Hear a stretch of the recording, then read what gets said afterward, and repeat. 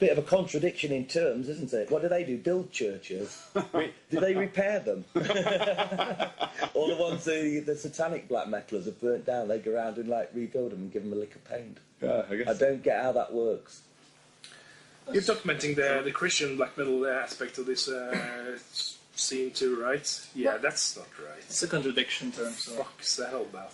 It it is simply not doable. You know, that'd be like the concept of a Formula One car with two wheels. You know, it, it's just it can't be done. But you have there are bands there that, that try and do. Yeah, but they're not black metal bands. You know, they.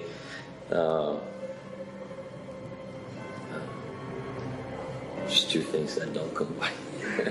it's absurd, you know.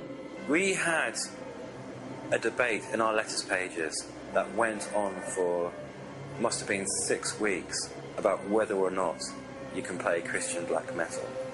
And all started from one review of um, one of our writers, one of our writers of a band called Drottnar, um, who's um, who reviewed a Christian black metal band and just didn't know what to make of it because he couldn't, he didn't know what to market because it just, it seemed to be um, anti everything black metal stands for. Now, for a lot of people, black metal, what it stands for is really, really important. And on one hand, how can you have a religion that talks about that whose basic point is redemption? That's that's one of the most antithetical aspects to black metal there is. You know, it's one of the most antithetical themes of black metal. You know, black metal is about your humanity. It's not about being. It's not about um, giving your humanity over to to you know a god or a higher force. Maybe it's um, it's a communion with with some forces, but it's still about the essence of yourself within. In every philosophical way, Christian black metal is an absolute contradiction in terms. Not that there haven't been Christian black metal bands, and maybe there's some aspects of Christianity.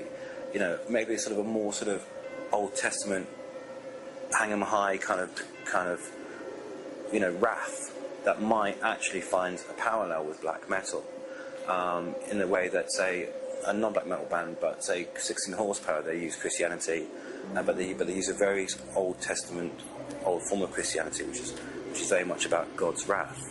Um, so they might they might find some parallels there, but the thing that makes black metal what it is is is is the belief.